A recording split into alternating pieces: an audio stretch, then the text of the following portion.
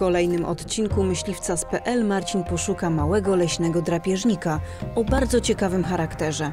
Te zwierzęta mieszkają w norach, zazwyczaj tych samych od pokoleń, czyli nawet od kilkudziesięciu lat.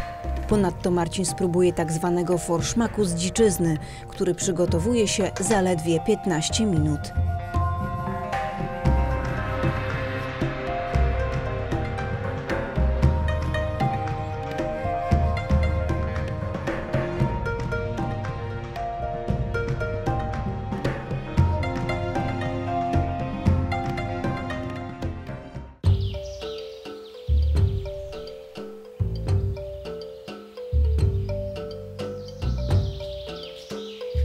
Marcin wraz z Łukaszem Jędrychem, myśliwym z koła łowieckiego Wrzozlicbarka Warmińskiego, znaleźli borsuczą norę, usytuowaną w fundamentach starego wiejskiego domu. Na świeżo rozkopanej ziemi widać ślady porządkowania nory po okresie zimowym. Co można powiedzieć o borsuku, osobie, która nie wie nic na temat tego zwierzęcia? E, Borsuk jest e, bardzo towarzyskim zwierzęciem. Borsuczyca pomiata maksymalnie do, zgodnie z literaturą, do pięciu sztuk, ale to jest bardzo rzadkie. Tak na dobrą sprawę to są dwie, trzy sztuki. No jeśli widzimy więcej e, takich e, młodych, no to znaczy po prostu tak, że mamy do czynienia z życiem może nie stadnym, ale z życiem bardzo towarzyskim. I e, borsuki na przykład utrzymywane w niewoli e, no, również są takimi pociesznymi zwierzętami, szukającymi kontaktu, szukającymi zabawy. Także to zupełnie zadaje kłam e, temu stwierdzeniu, że, że borsuk to taki samotnik e, unikający e, kontaktów z przedstawicielami własnego gatunku. Słyszałem, że borsuk jest bardzo czystym zwierzęciem. Co to znaczy? Borsuk dba o higienę e, otoczenia. E, warunki sanitarne, jakie zaprowadza, no, diametralnie się różnią od tego, co e, może nam zaoferować dla naszych oczu i, i dla naszego narządu powonienia lis. Obecność lisa na norach w okresie letnim można dość łatwo wyczuć. No, to jest smród unoszący się nad, nad takim placem, gdzie szaleją te lisięta. Jest tam zawsze duża ilość jakichś resztek pożywienia, odchody. Natomiast borsuk no, lubi posprzątać po sobie. E, w okolicach nor zawsze można znaleźć, e, oczywiście trzeba poszukać, bo nie zawsze jest to tak proste, ale dołki, które nazywamy latrynami. Do czego one służą, tłumaczyć raczej nie trzeba. E, Poza tym e, nory borsucze można również odróżnić od tych lisich, że zwłaszcza w okresie jesiennym e, można przy nich zauważyć powyciągane z nory resztki dawnej ściółki i ślady włóczenia, bo tak to się nazywa, przez borsuka nowego materiału, którym wyścieli on e, nory. Borsuk jest drapieżnikiem. A czy jest to zwierzę agresywne, niebezpieczne? E, Borsuk jest agresywny, tak jak zresztą większość zwierząt, kiedy się na niego nastaje. E, Jest bardzo agresywny w przypadku osobników swojego gatunku, które naruszają jego terytorium. E, Jest również niebezpieczny dla psów. No, potęga szczęk borsuczych jest wielka i, i, i nie jeden żywot psi już się na niej zakończył. Może nie wygląda niepozornie, ale ma potężne, jak na swoje rozmiary, pazury, bardzo silne łapy. Broni się nie tylko e, kęsami, ale broni się również e, bijąc łapami. E, Potrafi zakopać w norach psa, który będzie go nękał. Wprowadza w jakiś korytarz, następnie za sklepy, jak to się mówi. Czy w przypadku ludzi może być niebezpieczny? Spotkałem się z taką sytuacją bodaj dwa czy trzy razy. To, to były jakieś takie ekstrema. No, borsuk potrącony przez samochód, ranny, leżący na poboczu, ktoś chciał pomóc, nie wiedział jak, wyciągnął rękę. E, No, osobnik ranny i, i tak jak mówię, napastowany przez człowieka czy przez inne zwierzę. Jest drapieżnikiem, który akurat e, skupia się głównie na e, gryzoniach. Jest wszystkożerny, także no nie jest to krwiożercza bestia, broń Boże. Nie należy się go bać. Borsuk, czyli inaczej jaźwiec, żyje w grupach rodzinnych składających się głównie z pary i jej potomstwa. Jest srebrzysto-szary, kończyny ma czarne, a głowę białą, z charakterystycznymi czarnymi smugami biegnącymi wzdłuż pyska, przez oko aż do ucha. Myśliwi samca nazywają psem, a samicę suką. Dorosły borsuk waży od 10 do ponad 20 kg.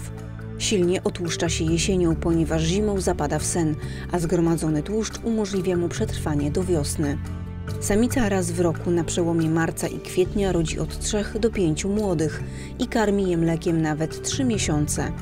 Borsuk to drapieżnik, ale tak naprawdę jest wszystkożerny.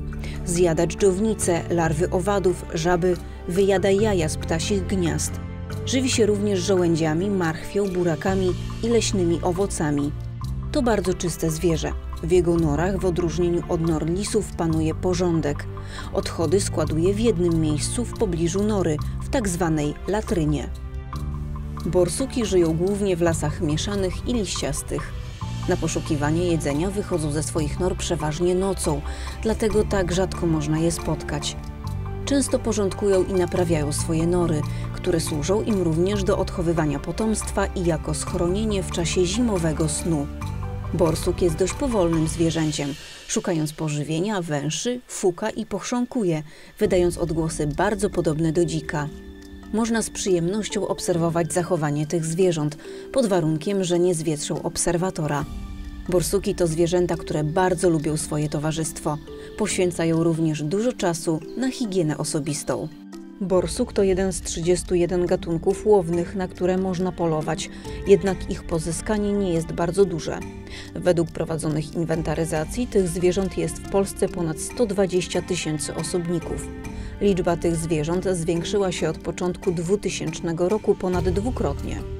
Myśliwi ograniczają populację borsuka przede wszystkim tam, gdzie występuje zagrożone wyginięciem ptactwo, głównie głuszce, cietrzewie i kuropatwy, ponieważ borsuki wyjadają jaja z gniazd zlokalizowanych na ziemi.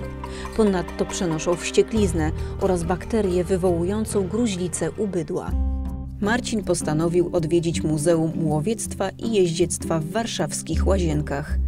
Tym niewielkim budynku zgromadzono pamiątki związane z kulturą łowiecką sprzed kilku wieków. To dowód na to, jak zawsze mocny wpływ miało łowiectwo na europejską kulturę, również w Polsce. Co to jest? E, Szafa wystawowa? Nie, nie, początek dobrze, szafa. Jak widać, szafa na e, broń. e, Dziś już do tych celów e, poza pewnie muzeum nie używana. Zgodnie z przepisami dzisiaj myśliwi muszą mieć zamkniętą pancerną, z zatestowanym zamkiem, przymocowaną na trwale do ściany szafę i tak dalej, i tak. A to jest najprawdopodobniej część wyposażenia wnętrza jakiegoś wnętrza pałacowego, gdzie to stanowiło nie tyle miejsce trzymania, przechowywania bezpiecznego broni, ile część ozdobną mm, całego wnętrza. Y, Z naszych dociekań wynika, że to y, mogła być XIX-wieczna wiedeńska szafa na broń. Myśmy to kupili jako kompletny destrukt, y, m, preaktywowaliśmy konserwatorsko i na podstawie tam malunków u zwieńczenia widocznych doszliśmy, że ona właśnie jest y, z tamtego rejonu i z tego okresu, ale, ale drzewiej wtedy w tym XIX wieku nie było takich potrzeb, nie było takich przepisów. Jakby trzeba było tego pilnować, to się po prostu odpowiednią służbę stawiało i ta służba tego pilnowała. W miejscu, gdzie nie było służby, to na ogół takich szaf nie było. Kultura łowiecka to wspaniałe polskie malarstwo, między innymi Juliusza Kossaka. Motywy myśliwskie można odnaleźć również na wielu dawnych przedmiotach użytku codziennego. To również bogata kolekcja starych fotografii, z których można dowiedzieć się, jakiej broni używali dawni myśliwi, jak się ubierali, na jakie zwierzęta polowali oraz na przykład jakie psy towarzyszyły im podczas łowów. Tym razem Marcin spróbuje forszmaku z dzika. To bardzo prosta i szybka potrawa, którą przygotowuje wraz z Rafałem Chwaluczykiem, myśliwym z koła łowieckiego Jeleń z Olsztyna. Najpierw trzeba pokroić mięso na cienkie kawałki, następnie pokroić cebulę, kiszone ogórki i grzyby.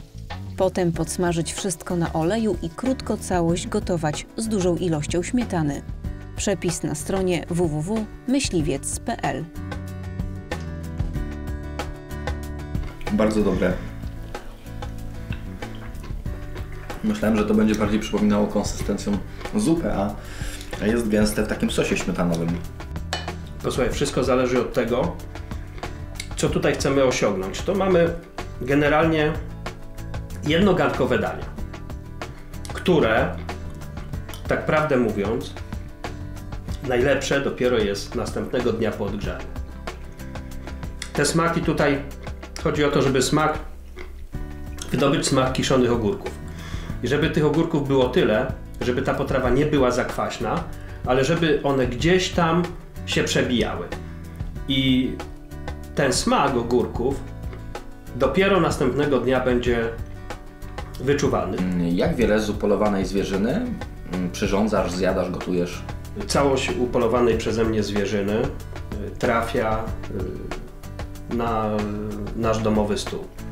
Przy dzisiejszych cenach dziczyzny i przy y, powiedzmy y, tym, jak, y, jak tą dziczyznę się pozyskuje, jaką ono reprezentuje jakość i czym ta dziczyzna jest, to na dzień dzisiejszy naprawdę jest to, y, uważam, jedyny surowiec, który w sposób ekologiczny może przyczynić się do tego, że człowiek naprawdę bez żadnych konserwantów, bez antybiotyków zjada mięso, które nie dość tego jeszcze sam pozyska. Natomiast jeżeli jemy to, co upolujemy, uważam, że jest to w tym momencie jak najbardziej ok. Tu jest szynka z dzika, a czy do tej potrawy możemy użyć innego rodzaju dziczyzny? Zasada, którą należałoby się kierować w ogóle w przygotowywaniu dziczyzny, jest to, że z mięsa dobrej jakości, tudzież bardzo dobrej jakości, no, powstają dobre bądź bardzo dobre potrawy. No, jest to generalnie rzecz oczywista, której no, nikomu nie trzeba w jakiś tam dodatkowy sposób objaśniać. Natomiast mięsa, którego użyliśmy do tej potrawy, najbardziej pożądanym byłby kawałek schabu. Jak widziałeś, obsmażamy tylko mięso, następnie zagotowujemy je i gotujemy tylko do połączenia smaków parę minut, 2, 3 do 5 minut. Więcej tutaj ta potrawa nie wymaga długiego gotowania, także mięso musi być po prostu dobrej jakości. Przedłużająca się zima dała się we znaki wielu gatunkom zwierząt. Pod grubą warstwą zmrożonego puchu trudno było zwierzętom znaleźć pożywienie. Dlatego myśliwi wykładali karmę do paśników, aby zwierzyna mogła przetrwać ten trudny okres. Z wyłożonej karmy korzystały nie tylko zwierzęta łowne, ale również wiele gatunków ptaków. Co roku myśliwi w całej Polsce wykładają do paśników ponad 100 tysięcy ton karmy, siana, sianokiszonki, buraków i zboża. A w następnym odcinku o dziczej naturze i ciekawych dziczych zwyczajach.